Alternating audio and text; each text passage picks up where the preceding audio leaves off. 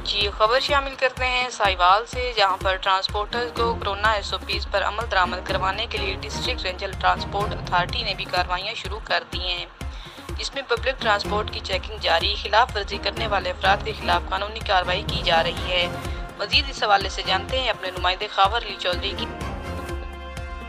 रिवाल के शहरियों को दौरान सफ़र कोरोना वायरस से महफूज रखने के लिए डिस्ट्रिक्ट रीजनल अथॉरिटी भी हरकत में आ गई। Secretary R T A Wasif Yasin ने ज़िले की अहम सड़कों पर नाके लगाकर गाड़ियों की चेकिंग की और जिनमें से एस ओ पीज पर अमल न करने वाली पाँच बसें और सात वैगने थाने बंद करवा कर इनके खिलाफ कानूनी कार्रवाई का आगाज़ कर दिया गया। इनके अलावा मुतद गाड़ियों को भारी जुर्माने भी किए गए। इस मौका पर secretary R T A, Wasif Yasin का कहना था कि secretary Punjab provincial authority Naeem Bukhari और डिप्टी कमिश्नर साहिवाल बाबा बशीर की हिदायत पर अमल करते हुए पब्लिक ट्रांसपोर्ट के लिए बनाए गए एस ओ पीज पर अमल दरामद को यकीनी बनाया जा रहा है। इस सिलसिला में ट्रांसपोर्ट सब इंस्पेक्टर फहीम और दिगर अमला रोड पर बसों और वैगनों की चेकिंग कर रहा है। ऐसी गाड़ियाँ जिनमें मुसाफिर हद से ज़्यादा बैठे और मास्क न पहने हुए, इनको न सिर्फ़ जुर्माने किए जा रहे हैं, बल्कि इन गाड़ियों को बंद करके इनके खिलाफ कानूनी कार्रवाई की जा रही है। मुसाफिरों से गुजारिश है की वो मास्क लगाए और गैर ज़रूरी सफ़र से गुरेज करें। इसके अलावा सेक्रेटरी आर टी ए